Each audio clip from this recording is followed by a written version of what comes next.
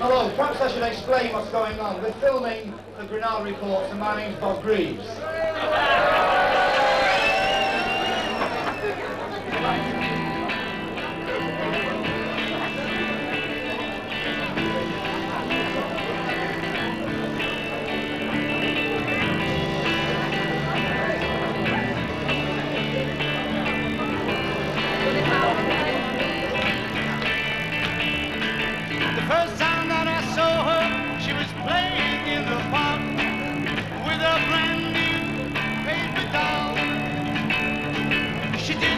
See me standing there, she didn't hear me call.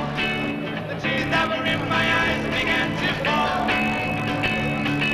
Sweet, sweet Melinda. What do you think of them, the Silver Set? Fantastic, aren't they?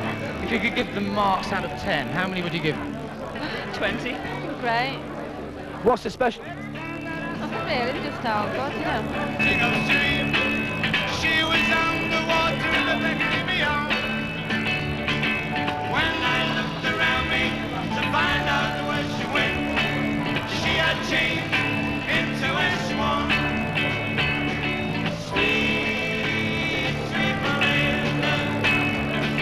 what the people of Merseyside like?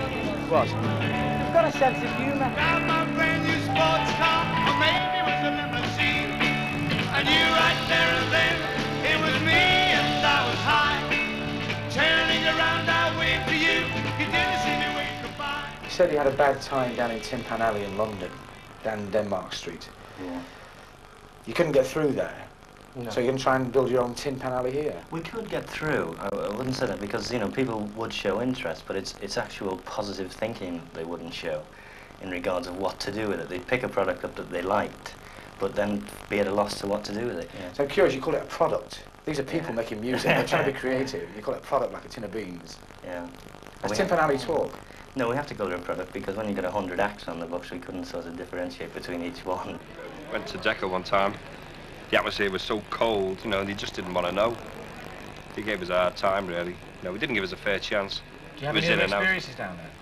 Yeah, I was down there recording for Parlophone about uh, 10 years back. Must be. Folded years ago. Ooh, Joe me. Giving his age away now. It's an out man, really. And did you get much. did you get disillusioned with London? Very, very much so. We, um, we found that, as Tommy said, they were very, very cold, and this is the first thing that's ever happened to us locally and for every band in Liverpool. We're trying to give people who, you know, don't get a chance really, an opportunity to become small-time stars, if you know what I mean. Surely if they have the talent, they make it anyway. Well, they need the, the sort of starting pad, you know. well, one other chance. Where would we get another chance like this? What do you expect You to know. come from it? Well, we'd make a living, you know. A good living. You dress pretty well. You look as though you're not doing so bad. Well, I mean, I'm down to my last oil tanker. Eh? You know.